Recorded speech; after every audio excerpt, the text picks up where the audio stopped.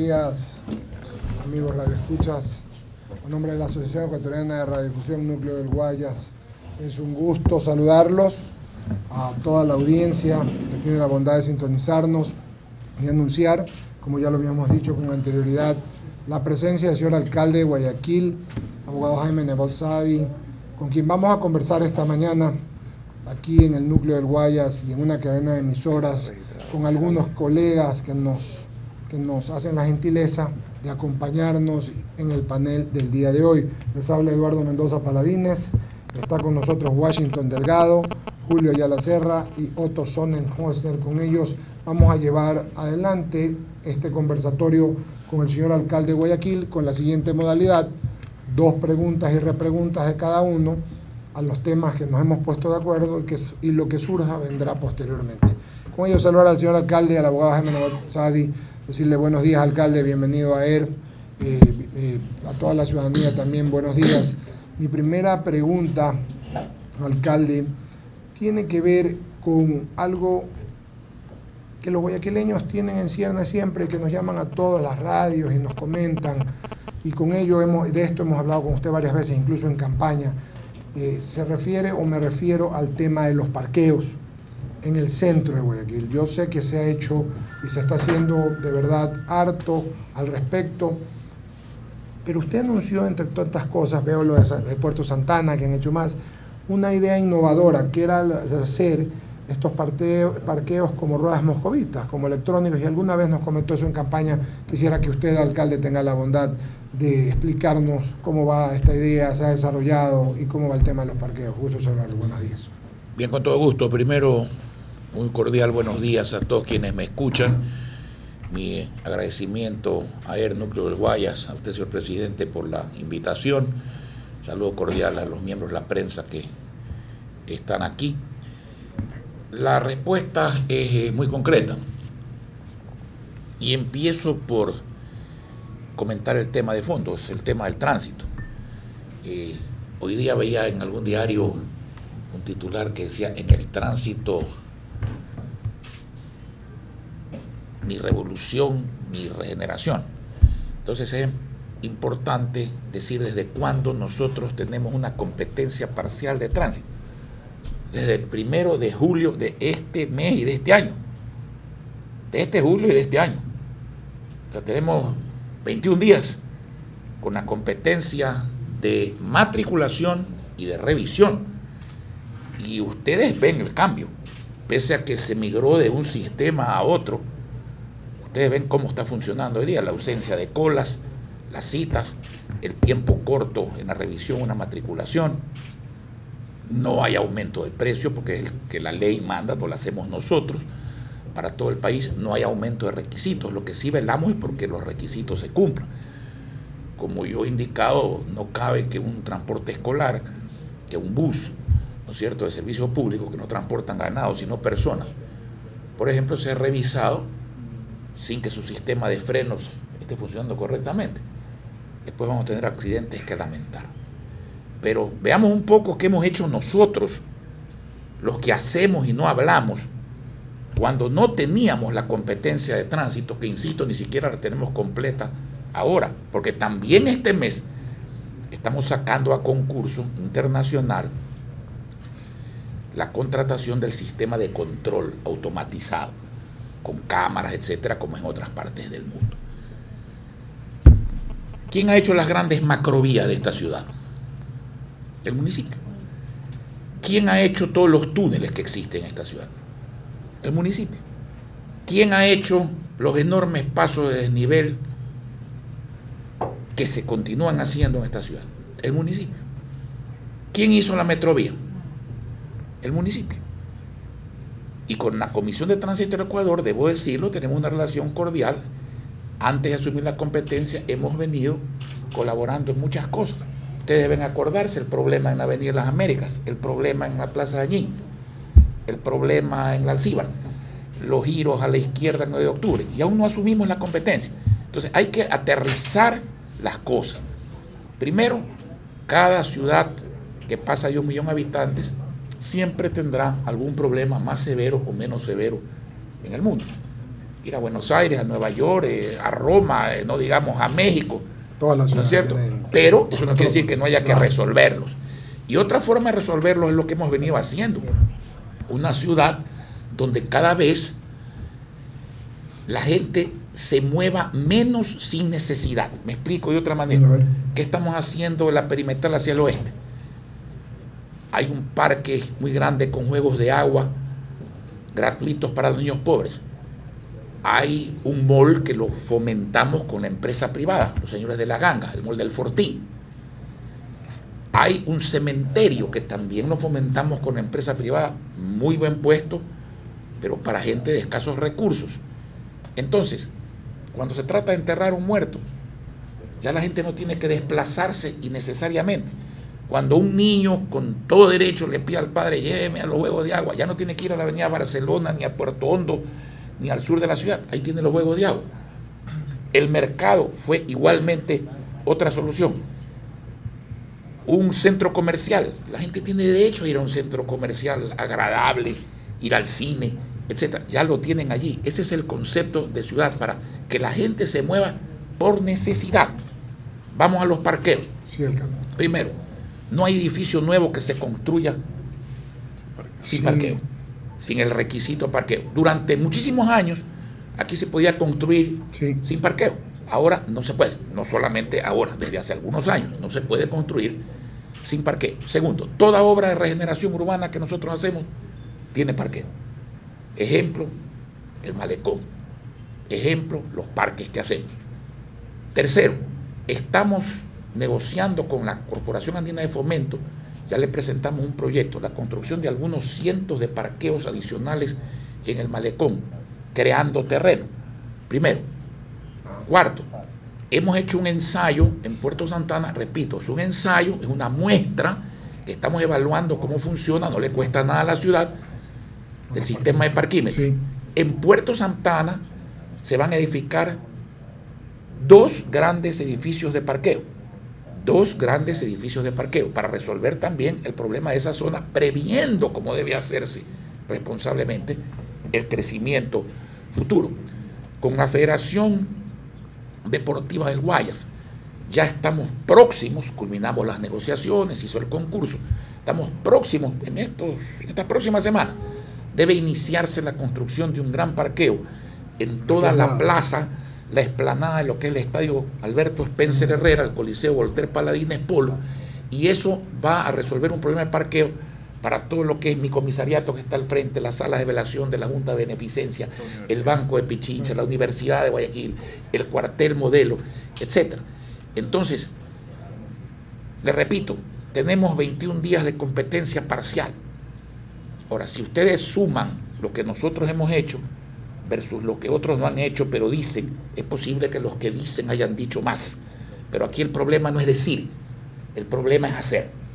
Los problemas no se hacen, el diagnóstico demanda un estudio, hay que explicarlo, hay que hablar para diagnosticar. Pero esto es como en la medicina, ¿no es cierto? El buen diagnosticador, muy bien, le dice al enfermo qué es lo que tiene, pero luego hay que curarlo, o hay que operarlo para que se sane. Y eso no se hace con la lengua, eso se hace como se tiene que hacer haciendo las cosas. 9 y 19 de la mañana conversando en, Nuclear Guayas, en Air Nuclear Guayas con el señor alcalde de la ciudad. Saludar a las radios que nos están eh, sintonizando en esta cadena, I99 FM, Radio Rumba, que hace matriz, Radio Forever, Radio Santiago, Radio Bancavilca, Radio Atalaya, Radio Cenit y Radio Águila. Un abrazo para todas las audiencias, Radio, Radio Tropicana FM todas ellas. Vamos a continuar en esta mañana. El alcalde da una explicación respecto a lo preguntado y ahora viene Julio la Serra con más inquietudes aquí en el panel de AER Núcleo del Guayas esta mañana con el alcalde de Guayaquil en este conversatorio que se realiza y escenifica hoy. Buenos días, señor alcalde. Hemos visto sus declaraciones en torno a un proyecto de bus aéreo para resolver en alguna medida el problema de la transportación masiva con un precio diferenciado. La pregunta que yo le hago, ¿no se ha pensado también como una solución en hacer un bus diferenciado en la metrovía donde eh, prácticamente está subutilizada la vía? A ver, ojalá estuviera subutilizada la vía y cuando está subutilizada los malos conductores se encargan de sobreutilizarla. Y hemos dicho a la Comisión de Tránsito que mientras ellos tengan el control, sean severos. Es una de las cosas que más vamos a penalizar en el futuro. El uso del carril de la metrovía y el bloqueo de las intersecciones. Las voy a explicar brevemente las dos antes de pasar a contestar su pregunta. Primero puede dar lugar a un accidente de enormes proporciones el hacer eso. Y eso va para los carros del sector público y los carros del sector privado. Cuando tenemos apuros, todos tenemos apuros. El funcionario público tiene que acostumbrarse a esperar. Yo espero cuando toque esperar. Y cuando voy a entrar a un lugar hay que hacer cola, hago cola. Eso es lo lógico, eso es lo que espera la gente de un funcionario cercano al pueblo. No es cuestión de decir yo soy fulano de tal, me salto la cola. Tampoco se hace eso cuando uno conduce. Puede haber un gravísimo accidente. Segundo, los transportes masivos están hechos para servir a la gente pobre. Si usted coge en condiciones normales su vehículo y sale a la estación de la metrovía del Guasmo Sur y va a la metrovía, a la estación de la metrovía acá en el río Daule, el bus, pese a hacer 32 paradas, llega primero que usted en su carro. ¿Por qué? Porque la idea es que la gente pobre gane en tiempo, gane en calidad de vida. El transporte rápido, masivo, rápido, masivo, compensa la incomodidad de todo transporte dentro de ciertas normas, por cierto, de todo transporte masivo en el mundo, el metro de Nueva York, el metro de París, las metrovías de Sao Paulo, las metrovías de Chile, el Transmilenio bogotano, etcétera, con la enorme rapidez. El promedio de ahorro es hora y media al día es mucho tiempo y en buena hora porque el ciudadano puede disfrutarlo con su familia o en otro tipo de actividades más productivas que estar sentado eh, definitivamente eh, en un transporte. La metrovía debe evolucionar hacia buses de dos cuerpos, que es lo que se llama los biarticulados. En eso estamos definitivamente trabajando. El bus diferenciado eh, también está en estudio. Pero yo le hago una pregunta, el bus diferenciado por el mismo carril, ¿qué es lo que resuelve? Resuelve el problema de la comodidad, porque al pagar más hay menos gente, pero no resuelve el problema de la rapidez, ni tampoco resuelve el problema del espacio. Por eso las soluciones que no ocupan espacio son soluciones importantes. Una es el metro, va debajo de la tierra técnicamente perfecta. Bueno, yo les dije aquí a ustedes hace un par de años cuánto vale un metro. Un metro vale, y ahora está aprobado, entre 2.000 y 2.500 millones de dólares. ¿Cuánto vale el pasaje en un metro si alguien no lo subsidia? Vale entre unos 50 dólares y 4 dólares. Tomemos el 1.50, restémosle los 25 centavos que la gente paga, e incluso en la metrovía decenas de miles de personas pagan 12 centavos, porque el niño, el joven estudiante pagan 12 centavos, el hombre y la mujer de la tercera edad pagan 12 centavos, la persona con discapacidad paga 12 centavos, las personas con deficiencias visuales incluso no pagan, y son miles. Hay 13 personas discapacitadas de cada 100 en el Ecuador. Si usted toma esa diferencia de 25 centavos con un dólar cincuenta, está hablando de 1.25, un sistema de transporte para que sea masivo, para que sea efectivo, tiene que transportar medio millón de personas. Por dos viajes, un millón de viajes. Por uno dólar con 25 centavos, son un millón doscientos cincuenta mil dólares diarios. ¿Quién va a subsidiar esa diferencia? La gente, la gente no tiene la plata. El municipio, eso es más de la mitad del presupuesto. El gobierno no lo va a hacer. Entonces, en la Conferencia Internacional de Transporte de Chile hace algunos años, se llegó a una conclusión, una verdad más grande que una catedral, con dos componentes. El uno, no hay ciudad mayor de un millón de habitantes que pueda sobrevivir sin un sistema de transporte masivo rápido. Pero ¿cuál es ese sistema? El que la gente pueda pagar. Porque si no, usted tiene la quiebra del sistema o la quiebra de quien lo sufraga o la quiebra de la comunidad, que es la peor de todas. Entonces, por eso estamos buscando la alternativa. La gente del pueblo lo llama el aerobús. Realmente se llama técnicamente transporte aéreo suspendido, porque hay varias formas de transporte aéreo suspendido.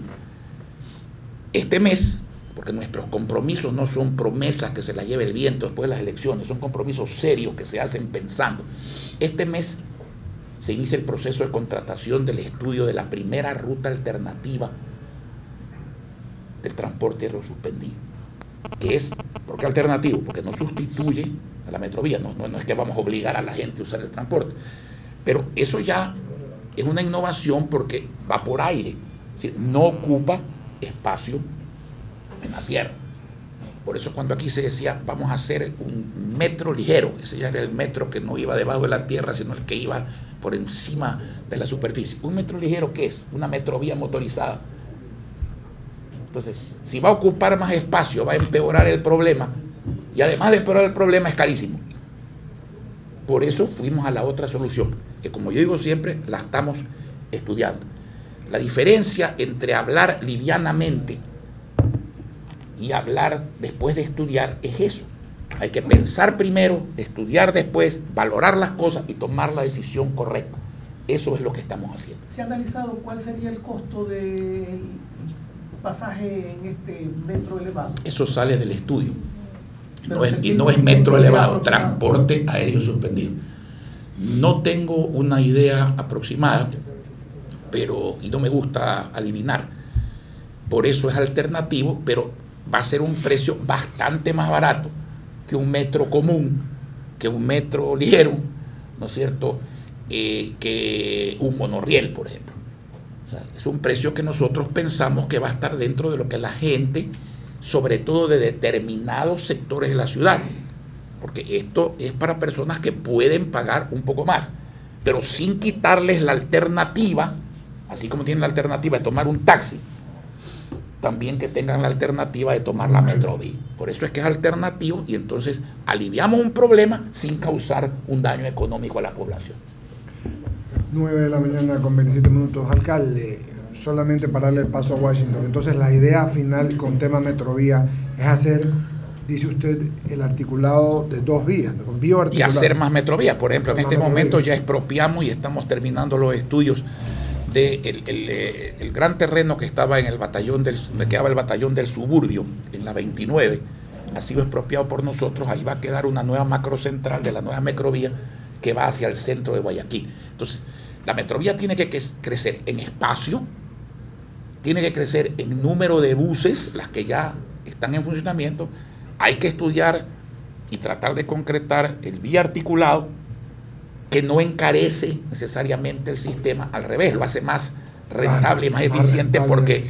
Más espacio. Exactamente. lleva a una velocidad importante, lleva más gente. por lo tanto, no tiene por qué afectar al precio. También aliviaría las horas picos, ¿no? Definitivamente. Y luego de eso, hay que ir eh, al tema de la solución del transporte aéreo suspendido.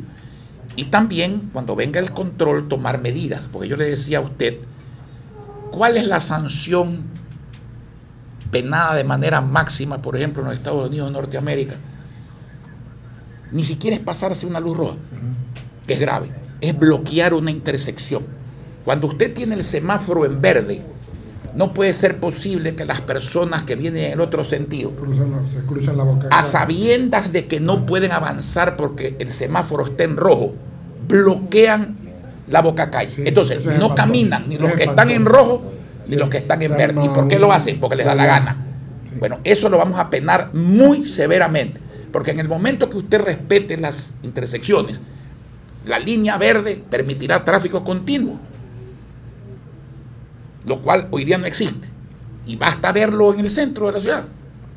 esa costumbre hay que desterrarla. Eso de por sí, esa sola medida va a aliviar enormemente el tráfico en cualquier ciudad donde se aplique y aquí la vamos a aplicar. Guacho. Sí, eh, buenos días, alcalde Jaime Nebot. Guayaquil es cerro, Guayaquil es río, Guayaquil es estero salado. En el tema del estero salado, la recuperación, ha surgido un grave problema con el aguaje extraordinario que se dio entre el día 14 y 16 de julio. Algunas casas, yo tengo inclusive fotografías acá, en que se inundan que están al borde desde la vía 17 o el puente de la 17 hasta la calle Gómez Rendón. Usted había anunciado que no va a haber reubicación de estas familias, son 400 familias que están afectadas. Ahora con esta experiencia, ¿ha revisado la decisión, señor alcalde? No. Déjeme decirle primero lo siguiente. Y otra vez, ¿no es cierto? Los aguajes se dan permanentemente. El aguaje lo que es es que en determinadas épocas del año la marea sube más de lo normal. El aguaje al que usted se refiere no es un aguaje que supere los límites históricos. Primero hablemos de lo normal. No hay 30. Primero hablemos de lo normal. ¿Qué pasa respecto de las casas? Nosotros, en, la, en el área que a nosotros nos corresponde, que es el área de la regeneración, porque yo vuelvo a indicar con claridad, las ocupaciones ilegales, la prevención de las ocupaciones ilegales, la solución de las ocupaciones ilegales, la reubicación o incluso el desalojo, cuando alguien lo decide que no, el municipio no tiene esa facultad, le corresponde al gobierno central. Cuando usted está hablando del municipio de Guayaquil, usted está hablando de nuestra responsabilidad en el área regenerada. Nosotros monitoreamos primero esas casas permanentemente. Permanentemente. En este mismo momento no tengo todavía el resultado de la última inspección, pero ya está hecha. Allí se determina qué daño hay, qué grado de peligro hay, la posibilidad de reparar la casa, incluso desmontándola y poniendo los pontones nuevamente, los pilotes, y volviéndola a hacer, o la necesidad de desmontarla y trasladarla. Si ese es el caso, nosotros desmontamos la casa, llevamos la familia a otro lugar. Eso es lo que hacemos permanentemente. ¿Dónde está el verdadero problema? El verdadero problema, señores, está en que si viene un fenómeno como el fenómeno del niño y los ríos no se dragan y no se van a dragar de aquí al próximo invierno, no se, van a, no se han dragado desde 1968. Usted se imagina una carretera que no se mantenga desde 1968, no existiría, ¿no es cierto? Bueno, los ríos son vías que también requieren mantenimiento. Cada marea alta entra limo y arena que no sale del todo con la marea baja. Entonces los ríos hay que dragarlos. Todos estos islotes que usted ve que se están formando son productos de muchas cosas, pero fundamentalmente de no dragar. También del manejo para mí inadecuado de la presa en un momento determinado del lado del Eperipa. Por eso es que el problema del babahoyo no existe, existe en el río Daule. Y lo que se está formando allí es una batea, porque por un lado hay una presa y por el otro lado hay otra presa, que es cuando viene la marea baja con gran velocidad, el río Babahoyo, que no tiene presa y que tiene empuje de agua y mayor corriente, forma una cortina creando otra presa a la salida del río Daule. Entonces, esa batea, que tiene del un lado una presa de agua y del otro lado una presa de cemento, cuando sube la marea, entra la arena y el limo, y cuando baja la marea, se queda la arena y el limo. Y por eso es lo que está pasando allí. Y si encima no dragan desde el año 1968, va subiendo el fondo del río y al subir el fondo del río, la ciudad se hace proclive a la inundación. No hay que ser un científico para saber esto. Entonces, ¿qué hay que hacer? Dragar. No decir que se va a dragar, dragar. No decir que se va a dragar, dragar. Aquí cada cual tiene su competencia. Nosotros respondemos del drenaje interno de la ciudad. Y en eso estamos trabajando permanentemente y no digamos frente a lo que puede venir. Dios quiera que no llegue o que no llegue de una manera álida. Pero estamos trabajando permanentemente en eso.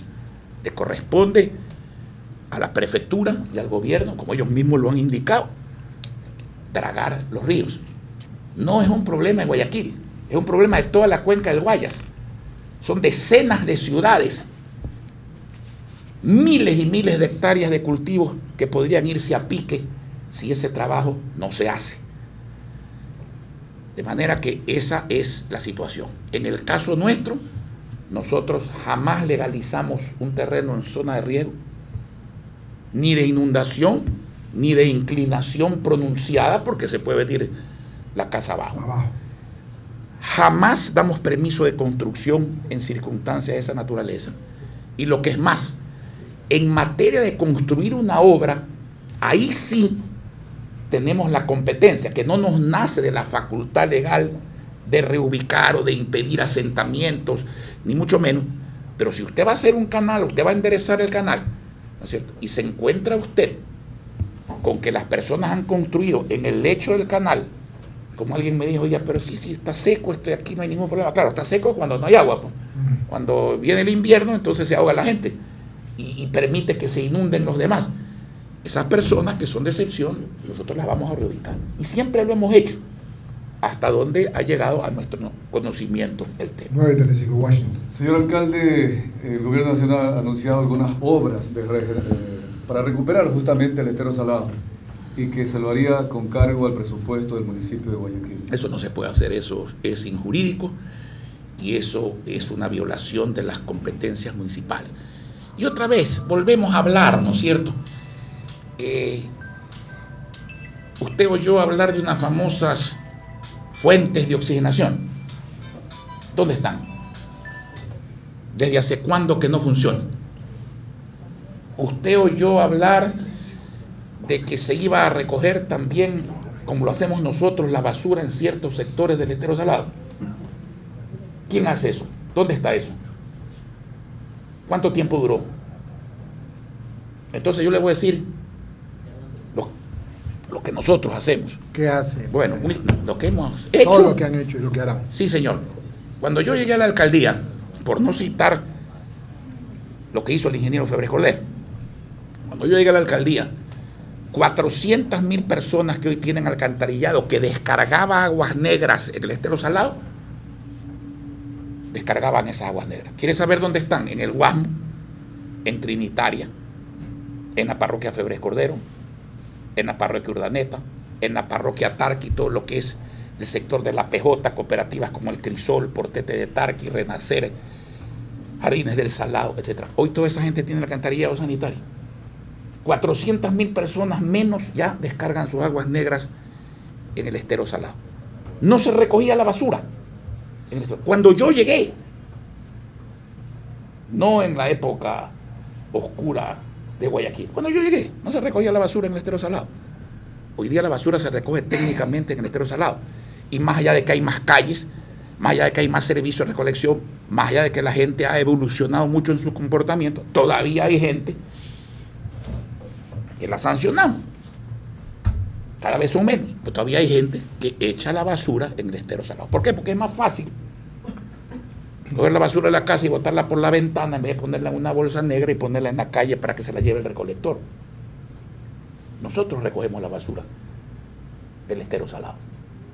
Cuando nosotros llegamos, yo encontré en el estero salado, los habitantes de la ciudad no me dejan mentir, pues, ¿qué era el estero salado? Pues perros muertos flotando, basura flotando, excrementos flotando, fetos humanos, perdónenme la, crudeza decir las cosas como son, flotando. ¿Dónde hay eso hoy día? ¿Había garzas en el estero salado? No. ¿Había fauna en el estero salado? El manglar del estero salado estaba enfermo de muerte. Hoy día está bastante repuesto y se está resembrando también. De manera que, como les digo, hablar es muy fácil. Hablar es muy fácil. Hacer no es tan fácil. No es dificilísimo si no nos hicieran las cosas. No es imposible si no se hicieran las cosas. Pero esto no es cuestión de saliva. Esto es cuestión de sudor, que es otra cosa. Uno no suda hablando, uno suda trabajando. 9 y 39 de la mañana sigue Otto Sonneholzer. Saludar también a Radio Sucre, a Sistema 2 y a Cupido junto con Rumba que matriza la señal del conversatorio de Núcleo de Guayas esta mañana. Radio Forever, Radio Tropicana, Radio Santiago, Radio 99, Radio Huancavilca, Radio Atalaya, Radio Águila y Radio Cenit. En el conversatorio de Nuclear Guayas con el alcalde de la ciudad de Salvar, también a nuestro expresidente, dos expresidentes, el ingeniero, el economista Clever Chica, el ingeniero Andrés Mendoza, que nos están acompañando esta mañana, y a muchos colegas de diferentes medios de comunicación, el licenciado Hernández, que veo por aquí. Un saludo, Verónica, también un abrazo para todos ellos, por favor, Otto. Alcalde, buenos días, gracias por estar acá en AER. Eh, dos temas respecto a la especialización de los puertos, que el año pasado sonó mucho, y pareciera ser que, no sé si, si eso ha cambiado, pero era una intención clara del gobierno de especializar puertos y, y dejar al puerto de Guayaquil como puerto de cabotaje. 9.40. Y la otra era el tema de la, la operación de los aeropuertos, es decir, la competencia de los aeropuertos. Dos temas que a la ciudad le llamaron la atención en su momento. Quisiera saber si usted sabe cómo han evolucionado. No, no sé cómo han evolucionado. Lo que sé es que lo que escribieron no lo han borrado. Entonces Guayaquil tiene la misión, como toda ciudad, de defender su tradición, de defender su historia. Y eso lo vamos a hacer. ¿Qué es cabotaje? ¿Qué es cabotaje? Cabotaje es el comercio sin perder de vista la costa, o sea, el comercio costanero de buques de la misma bandera. O sea, traer algo de Manta a Guayaquil en buques ecuatorianos. Eso es cabotaje. A eso quieren reducir a la ciudad de Guayaquil. Y hablan de turismo. Usted, como buen guayaquileño que es, sabe lo que son las esclusas. Para ser más propio en el lenguaje, lo que eran las esclusas. Las esclusas permitían comunicar el estero salado con el río Guaya. Están tapadas. Están tapadas. Ya no existen. Ya no se puede comunicar a la altura del puerto marítimo, el río Guayas, con el estero salado. Y hablan de turismo. Vamos a sustituir. Usted sabe, de acuerdo al último informe del gobierno, del Servicio Aduanero Nacional, cuál es el porcentaje de la carga no petrolera que sale y entra por la ciudad de Guayaquil. Del país, Más del 80%. 83%. ¿Por qué? Porque Guayaquil genera la carga. El entorno de Guayaquil genera la carga, lo que se llama el inland, el tierra adentro de Guayaquil, genera la carga. Porque entre los puertos públicos, el público está concesionado y los privados, la gente tiene un buen servicio. Esto no es cuestión de decir, voy a hacer un puerto aquí y la gente me va a llevar la, car- la carga allá. En los próximos días voy a anunciar un estudio de los miles, de miles, de miles de millones de dólares que costaría cambiar esa realidad. En transporte, en- Vialidad, en, vialidad, logística, en logística, en infraestructura. Y mi pregunta es, ¿y en el evento de que eso fuera posible, que no lo es, porque hay cosas que son tan teóricas y tan ridículas que no son posibles, que no llegan a hacerse, pero en el evento que fuera posible, ¿quién va a pagar eso? ¿Quién va a pagar eso? El pueblo. ¿Quién va a pagar eso? Los productos se elevan, los paga el pueblo. Y los de exportación, que no los puede pagar el consumidor porque el precio de la exportación se pone afuera y no en el país, también los paga el pueblo porque lo que harán los exportadores es ajustar costos y despedir gente. Y no subir los salarios en la medida que los podrían subir en actividades rentables por encima de los mínimos legales. Y el fisco, que recibirá menos impuestos. Entonces, no se puede traer un señor de España que lo contrató una compañía que es la que firmó el contrato del famoso estudio. Compañía que cuando usted revisa en internet quiénes son, no tienen división portuaria. Vienen a hacer un estudio de los puertos y no tienen división portuaria. Por eso es que hablaban de la posibilidad de otro puerto en Chanduy. Los niños que van a la escuela saben que en la época de la colonia, el sitio donde más galeones españoles se hundieron se llama Chanduy. Si en alguna parte no se puede ni se debe hacer un puerto, en Chanduy. A usted mira, bueno, la técnica no lo permite todo. Eso es como el metro. Claro que lo permite todo. Hace un espigón de 6 kilómetros de largo, eh, posiblemente no hay problema. ¿Y cuánto cuesta eso? ¿Y cuánto cuesta eso? Y eso mientras se impide que un puerto de aguas profundas con dinero privado se haga en el sitio más idóneo que es Pozora. Al fin y al cabo es con dinero privado. Yo lo vuelvo a decir, yo no me opongo ni me pondré jamás a que el gobierno nacional o el sector privado hagan todos los puertos que quieran, donde quieran hacerlos. donde quieran hacerlos. Pero no pueden hacerlo a costa de llevarse a dedo la carga de Guayaquil. pues. Que se la lleven compitiendo, pues, cobrando más barato, dando mejor servicio, poniendo industrias, generando comercio, generando carga, como pasa con los aeropuertos, pues no es cierto. Vea usted el aeropuerto de Guayaquil, para pasar al otro tema. ¿Qué dice en ese estudio de Marra sobre los aeropuertos? Dice que el aeropuerto internacional que más ha crecido es el de Guayaquil. No objetan el modelo de concesión. ¿Cómo lo van a objetar si ha funcionado perfectamente? Entonces ya, ya no es problema de filosofía. 9.45. No sé, ya no es problema de filosofía.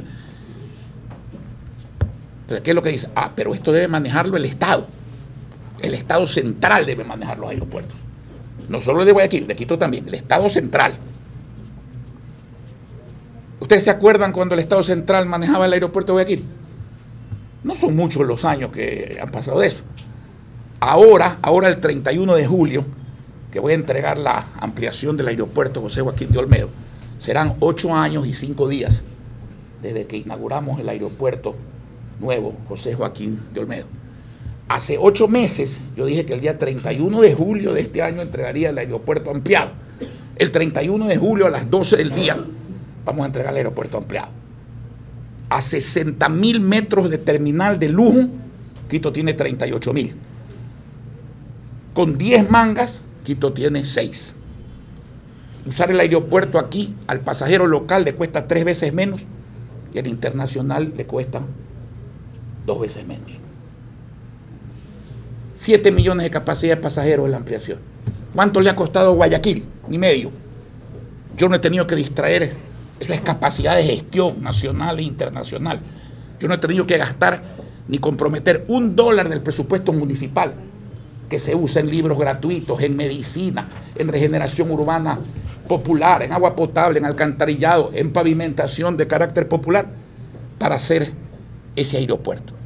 Y entonces hay que volver al pasado, a, cuando lo manejaba el Estado Central. Puedo enseñar la foto, perros y burros durmiendo en los soportales del aeropuerto. Aire acondicionado que no funcionaba. Inundación interna y externa del aeropuerto. Creo que lo hemos vivido todos aquí, los que hemos tomado un avión. Tomar el avión con el aeropuerto inundado o bajarse con el aeropuerto inundado. En la pista y adentro. Entonces, señores, uno tiene que tender a hacer y dejar hacer. Lo que el ciudadano que nos está escuchando quiere es vivir mejor cada día. No porque digan un librito, una constitución que la violan todos los días, sino porque sea verdad. Si uno puede sumar, si uno puede hacer y dejar que el otro haga y coordinar con el otro para sumar y multiplicar, ¿cuál es el problema? Más allá de la competencia que nace de la ley y de la constitución, que por supuesto hay que respetarla, más allá de eso está el sentido de la lógica, está el sentido social. Lo lógico es sumar y hacer más para la gente. La gente no quiere disputas por quien no hace, sino que quiere coordinación para que se haga más. Eso es lo que quiere la gente. Ahí está el problema de los puentes, ¿no es cierto? Primero resulta que nosotros, los alcaldes, no debemos hacer puentes. No tenemos competencia, que sí tenemos, y no tenemos cómo financiar, que también tenemos. ¿Qué dije yo al respecto? Señores, Guayaquil necesita no dos, cuatro, seis puentes, junto con San Borondón, con Daule. Hagan ustedes lo suyo, nosotros haremos lo nuestro. Los estudios nos llevaron por ese camino. El gobierno escogió dos sitios porque los estudios así lo determinaron, nosotros otros dos sitios porque los estudios así lo determinaron. Yo no me alegro de que ellos no vayan a hacer los puentes, yo lamento que no vayan a hacer los puentes. Como creo que lo lamentan los ciudadanos, que querían cuatro puentes y no los dos que ahora vamos a hacer los alcaldes de Daule, de San Borondón y de Guayaquil. Nosotros vamos a hacer nuestros puentes. Pues sería bueno que el gobierno haga los de ellos. La idea no es, yo lo hago, nadie hace. O yo hago todo. Señor, mientras más hagamos todos juntos, mejor. Esto no es un concurso de niños malcriados, digamos. Este es el concurso de las autoridades serenas, severas, prudentes y efectivas y solidarias de hacer cada vez más juntos. Eso es lo que quiere la gente. Eh, el conversatorio, seguimos con otros sonadores, pero antes solamente, presidente, eh, un minutito, decir que hay más radios que están en la cadena, nombrarlas al conversatorio de Aer Núcleo Guayas con el señor alcalde de la ciudad de Guayaquil, Radio Burbuja, Radio Forever, Tropicana, 99, Fuego, Rumba, que hace matriz, Radio Morena, Atalaya, Sucre, Radio Águila, Huancavilca, Sistema Radio Cristal, Sistema 2, Radio Cenit, San Francisco, Radio Cupido y Radio Santiago. Alcalde, la ampliación del aeropuerto de Guayaquil, que evidentemente quienes hemos pasado ya vemos que está prácticamente lista a una velocidad impresionante, eh, diera la impresión que el proyecto de Daular puede tranquilamente tomarse el tiempo que quiera, porque eh, no, entiendo que... No, no el tiempo que quiera porque el contrato de concesión actual termina en el 2024. El 2024 se presume que no dará más el aeropuerto actual al nivel, de crecimiento, que a nivel de crecimiento y entonces habrá que estar, así lo dicen las estadísticas y así lo dice la realidad que se va, se va conformando con el paso del tiempo. Entonces, para hacer un aeropuerto operativo el 2024, un aeropuerto de las características del que vamos a hacer, y para eso ya tenemos estudios de aeronavegabilidad, tenemos diseños. No le pasará al que tenga que hacer eso lo que me pasó a mí, que me encontré con un cuarto lleno de papeles. ¿Qué eran los papeles? Los estudios. Los estudios. ¿Estudios de qué? Papeles amarillos y viejos que no servían para nada. Un monumento a la incompetencia. ¿Usted sabe cuántos años pasaron desde el año 62 hasta que Gustavo Novoa tuvo el acierto de darle la competencia a los municipios para que hagan las cosas. 40 años. 10 años después, desde el año 72, se empezó a hablar de los aeropuertos ampliados de Guayaquil y Quito. 30 años de bla, bla, bla. En 17 meses hicimos el aeropuerto internacional. Nosotros. 17 meses duró la construcción. Yo por eso hay veces digo, y con coraje, cuando algún funcionario interno me anda lento. Hay veces en el municipio es más lento mandar a reparar una calle que hacer el aeropuerto internacional de Guayaquil. Esa es la diferencia de sumar, de abrirle la puerta a la empresa privada, que no va a gastar un centavo en eso. Y si sabe cuánto recibimos nosotros en el aeropuerto como ciudad. El 50.25 del ingreso bruto regulado, el 50.25 del ingreso bruto regulado. Si usted quiere un aeropuerto el año 2024, un aeropuerto las características del nuevo aeropuerto intercontinental de Guayaquil, toma aproximadamente cinco años de construcción. Eso quiere decir que usted tiene que empezar a construir el 19. Si usted quiere construir el 19, tiene que tener un proceso licitatorio de concesión un par de años antes. Entonces ya estamos hablando del 17. Eh, pero eso no quiere decir que hasta entonces este aeropuerto no aspire a seguir siendo lo que es hoy día.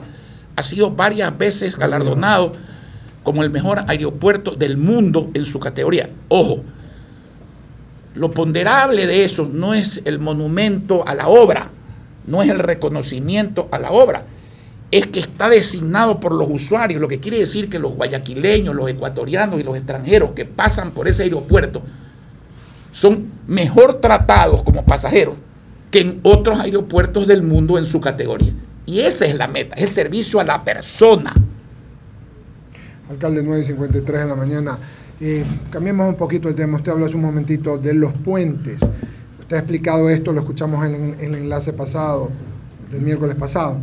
Mi pregunta es, hacemos los puentes, pero los puentes finalmente vienen a Guayaquil. La carga de tránsito de un lado del otro vendrá nuevamente a la Yo diría que no hay puente también viene a Guayaquil. Lo importante es cómo vienen a Guayaquil. Entonces tienen que venir, como es lógico, a la terminal terrestre Pascuales, a la Narcisa de Jesús. Pero si de la terminal terrestre Pascuales no hacemos obras adicionales, volverán a ir, ¿no es cierto?, a la Avenida de las Américas. Y entonces volvemos a llegar más rápido al mismo nudo gordiano. Entonces, ¿Qué se va a nosotros aquí en Guayaquil, por ejemplo, el puente que viene del Liceo Panamericano de San Borondón cae, en, según el estudio, cerca de las lagunas de oxidación de Interagua. lo extendemos hasta la terminal terrestre Pascuales, pero de ahí lo enlazamos con la José María Egas para a través de un elevado sacar el tránsito hacia el Ok. centroeste de Guayaquil. Listo. E igual habrá que hacer con la vía Casuarina, prolongar la Casuarina hasta la terminal terrestre Pascuales. E- Eso es lo que hay que hacer. Igual en este momento, también ahora en julio, sale el estudio de la nueva vía alterna a la costa hasta el kilómetro entre el 18 y el 24, según digan los estudios, y de ahí tendrá que ir hacia los terrenos, 8 o 9 kilómetros más, hacia los terrenos del nuevo aeropuerto de Daular, para que no pase como pasa en ¿De- otras partes, que primero está el aeropuerto, pero no tiene vías. No, aquí primero hay que hacer las vías y después el aeropuerto. Más allá de que tampoco la vía a la costa, que es una vía de gobierno, no es una vía nuestra, desde el kilómetro, desde donde hace el enlace con la perimetral, ya es una vía que va quedando ya de suyo es estrecha. Mm, Entonces, eh. entonces la vía alternativa va a darle también un desfogue al tránsito, considerando el enorme crecimiento que tiene y tendrá la ciudad en los próximos años de lo que es vivienda de interés social y asuntos de comercio en la actual vía a la costa. eh, Washington y Julio ya la han seguido. Sí, eh, Una sobre el pregunta. mismo tema, justamente, señor alcalde, ya se tiene el costo estimado de los dos puentes y quién lo financia y cómo se lo financiará. A ver, el costo estimado sale de los estudios. Yo tengo una idea de lo que van a costar. No lo voy a decir, porque si lo supiera ciencia cierta, ya para qué contratamos los estudios. Pero vamos a ver qué dicen los estudios. Y eso lo tiene que financiar básicamente Daule y básicamente San Borondón. Como aquí decía Eduardo, allá se genera el problema. Nosotros lo soportamos. Conclusión, el problema es de todos. Nosotros tenemos que recibir los puentes pagar un pequeño porcentaje y luego, eso sí, a costa de la ciudad, hacer la conexión del estribo del puente con la terminal terrestre Pascuales y luego la distribución del tráfico en la ciudad de Guayaquil. Me decía el alcalde Pedro Salazar de Daule, la gente no le pregunta ni cuánto va a costar el puente, ni cuál será el valor del pontajo o de la modalidad que utilicemos para poder repagar el empréstito necesario en el caso de que no se concesione, que es otra alternativa, a los constructores. La gente le pregunta, ¿cuándo está el puente? Sí, Eso es lo que le preguntan a la Sí, gente. señor. ¿Cuándo está el puente? La gente quiere resultados. La gente quiere resultados. Entonces, con el debido respeto, no nos van a enseñar a nosotros a financiar cosas, digamos. Ustedes me han oído a mí quejarme de falta de dinero, hablar de la crisis nacional o internacional para decir por qué no hay dinero. Créanme que la plata nunca sobra. Yo sería un ridículo si yo dijera que al municipio de Guayaquil le sobra la plata. Pero gracias a Dios tampoco le falta para poder ejecutar sus planes, medidos, meditados, posibles de realizar. No le falta. Y no le falta básicamente porque se sabe planificar y porque 85 de cada 100 dólares siguen entrando a las arcas municipales para, para convertirse en servicio público y en obras públicas. Y apenas un 15%, 15 horas de cada 100, van al gasto laboral y a otro tipo de gastos administrativos. Esa es la diferencia con Guayaquil. Déjeme ponerlo así. Y siempre lo digo porque hay que ser grato y honrar a la gente que lo merece, independientemente de su ideología y de lo que sea. Yo no recibí la ciudad de Guayaquil de manos de un alcalde caótico. Recibí de la ciudad de Guayaquil de manos de un gran alcalde, el ingeniero Febres Cordero. Pero el presupuesto de mis administraciones ha crecido siete veces. Siete veces. Pero yo tengo menos empleados de los que tenía el ingeniero Febres Cordero. No per- porcentualmente, Si no, realmente. ¿Por qué? Porque mi visión es que el empleo se genera hacia afuera con la obra y con el servicio y con el crecimiento de la ciudad, con el turismo que Guayaquil no tenía, con la vivienda popular que Guayaquil no tenía, con mi lote 1, mi lote 2, mucho lote 1, mucho lote 2. Con eso se genera eh, eh, el, empleo. El empleo no se genera casa adentro, dándole trabajo, llenando de empleados y de pipones en su momento, de conmilitones y de amigos y de coidiarios. No, no, señor. Yo no soy extremadamente duro y tengo muchas veces problemas con partidarios, etcétera, que creen que las elecciones se ganan para llenar las entidades públicas. No, señor. Y así acabaré mi administración. Entonces, cuando usted hace eso, usted tiene dinero. Usted tiene dinero. Usted está preparado para que si hay una crisis económica. Usted tiene su capacidad de financiamiento completa. Aquí se habla de los grandes subsidios, miles de miles de subsidios que el Estado ha dado a los municipios. Mire, al municipio de Guayaquil, en primer lugar, como municipio de Guayaquil, yo hablo con propiedad, el municipio de Guayaquil debe ser el único municipio del Ecuador, debe ser, que no le debe un centavo de dólar, ni vencido ni por vencer al Banco del Estado del Ecuador. Yo no trabajo con el Banco del Estado del Ecuador. Ahora, cuando se abrió cierto subsidio para agua potable y alcantarillado, EMAPAC, que es una empresa municipal, no el municipio, ha hecho ciertas financiaciones, en parte reembolsables y en parte no reembolsables, con el Banco del Estado. Porque es evidente, es nuestro deber ser eficientes. Si hay esa línea de crédito y eso sirve para dar más alcantarillado y para dar más agua, pues bien. Nosotros hemos invertido más de 470 millones de dólares en agua potable y alcantarillado. En los siete años que tenemos de competencia. 470. Sí, eso que dicen, hace 22 años la competencia. No, no, no. Hace siete años el presidente de la empresa de agua potable, ¿no es cierto?, era un distinguido ciudadano, miembro de Alianza País, señor Darquea. Sabemos, sabemos eso, ¿no es cierto? Darquea. Okay. Entonces no puede ser porque nosotros manejábamos el tema. 470 millones. ¿Sabe a cuánto asciende el subsidio que ha recibido la empresa Agua Potable, no el municipio? Ni a 25 millones. Aquí está el presidente de la empresa de agua potable, debe saber esas cifras con más exactitud que yo, aunque creo que son bastante exactas en números redondos. Entonces, mi amigo, eh, las cosas son como son. Las cosas son como son. Se miden por sus resultados, no se miden por las explicaciones. El progreso no es a base de promesas, el progreso es a base de compromisos cumplidos. El progreso no es a base de discursos, es a base de obras. La justicia social no es a base de dividir y de restar, es a base de sumar y de multiplicar, es a base de construir, no de destruir. Eso es lo que mide la gente. Y por eso vota la gente. Pues la gente no es tonta, pues la gente no vota por quien la destruye. Señor alcalde, la carretera perimetral se ha convertido en una calle de la ciudad de Guayaquil, por donde lamentablemente tiene que circular todo el transporte pesado que va al puerto marítimo. ¿Qué solución le podemos dar? Hace mucho tiempo se habló por parte del gobierno del puente sur cuando hay una coordinación municipio-gobierno para que esto se pueda dar y el, el, tema... ¿Por qué no hace el puente sur? Usted concordará que yo no estoy en capacidad de hacer el puente sur. ¿no? Así es. En primer lugar, el manejo portuario es un problema nacional, porque si estamos hablando del 83% de la mercadería nacional que entra y sale por Guayaquil, es un problema nacional.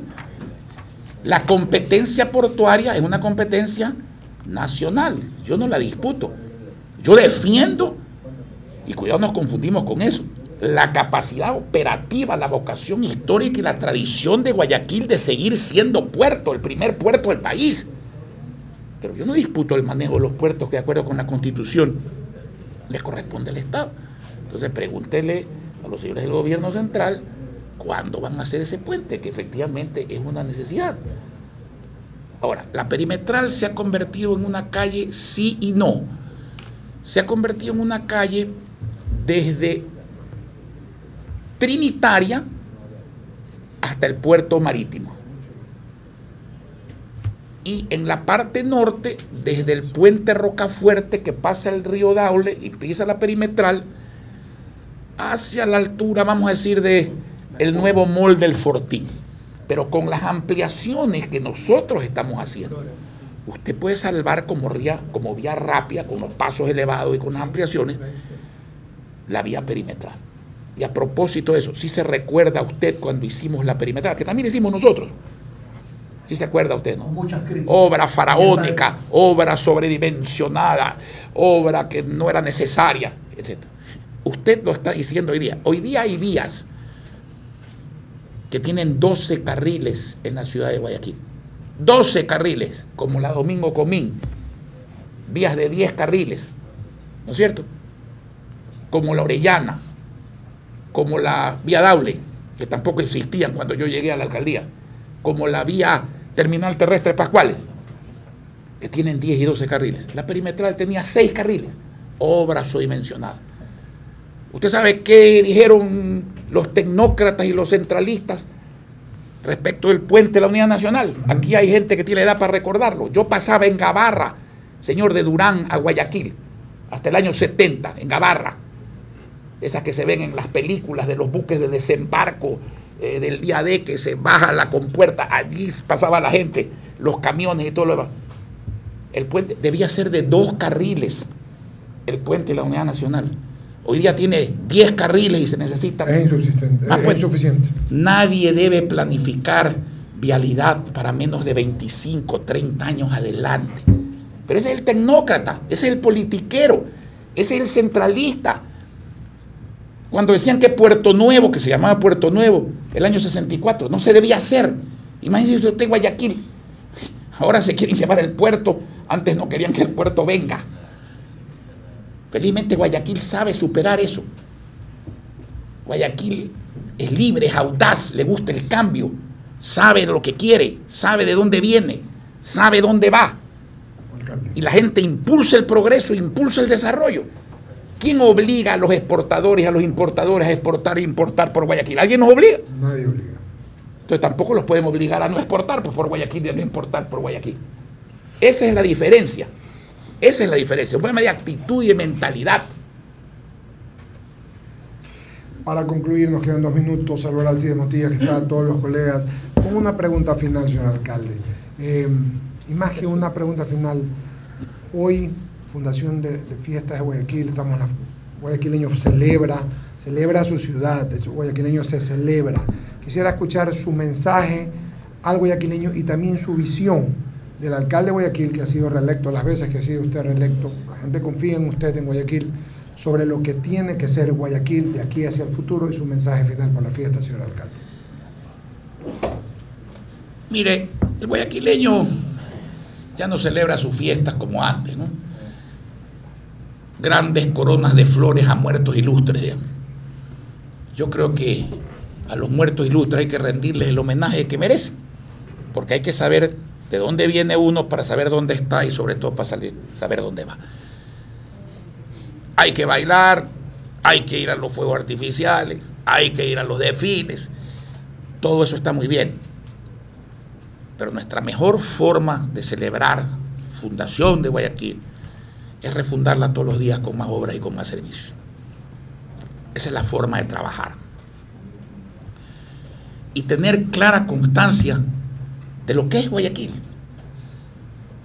Guayaquil es libertad. Guayaquil es cambio. Guayaquil es progreso. Guayaquil es suma. ¿Cuánta gente que nació en otras partes del país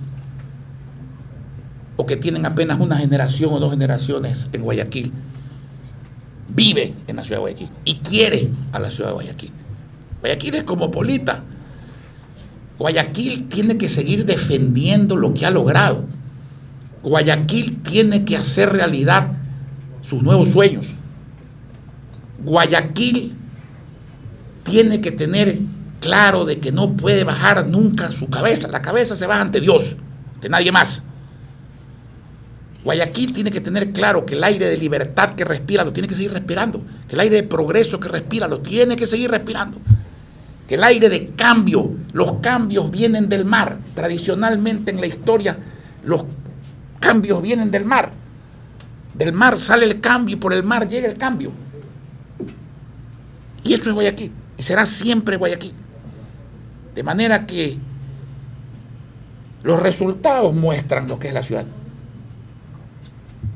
La ciudad no se murió con la fiebre amarilla. no se murió con los ataques piratas de Houthi y de Picard. La ciudad no se murió con el gran incendio ni con el fuego grande. La ciudad no se murió cuando la desbarataron hasta el año 92. La ciudad ha resurgido. La ciudad sigue resurgiendo. Gracias al esfuerzo propio de sus hijos, básicamente. De los que viven aquí, de los que quieren Guayaquil. De los que no esperan que le den haciendo las cosas, como se dice vulgarmente. De los que hacen las cosas. De los que no se dejan atropellar por la carreta de los problemas, sino de los que alan y empujan la carreta del cambio del progreso hacia el futuro. Y eso es lo que yo espero que siga haciendo Guayaquil. Agradecer al señor alcalde de la ciudad, a los panelistas Julio Yala Serra de Radio Atalaya, a Washington Delgado de, Radio Forever y vicepresidente de la institución, al expresidente Otto Sonnenholzner de Radio Tropicana, quien les habla Eduardo Mendoza Paladines, presidente de Núcleo Guayas, a los colegas, a usted, señor alcalde, por su Gracias a ustedes por su invitación y un cariñoso saludo y mi agradecimiento a quienes nos han escuchado y a la prensa aquí presente. Tengan un muy buen día. Muchas gracias.